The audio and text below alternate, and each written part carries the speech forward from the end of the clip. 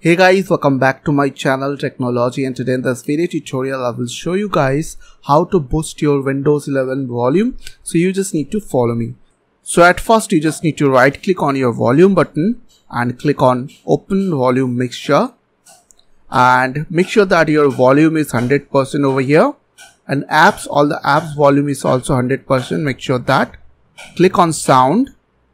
After that you just need to click on your sound device over here so in my case it is G3 G733 gaming headset. Here volume 100% and enhance audio. Make sure that it is enabled. And after that go to sound once again. Now scroll down. And here you just need to click on more sound settings. Now double click on your uh, playback uh, audio driver. Now click on properties under general settings. Now here go to driver if it in your case dry, update driver option is invisible for you, then click on change settings over here under general tab. And if you now if you go your driver option, you will get update driver option.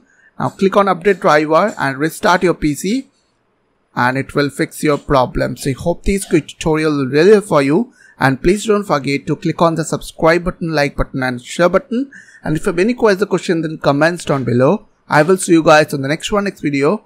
Till then, bye bye, take care.